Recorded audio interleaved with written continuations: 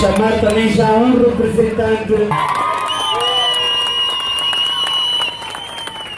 ao time DF, os meus parabéns.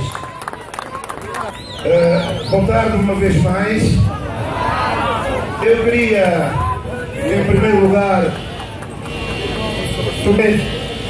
o Sr. Governador Provincial, o Dr. João Marcelino Chipig, agradecer esta enorme moldura humana que hoje prestigiou mais uma vez a nossa prova de 200 km da Vila.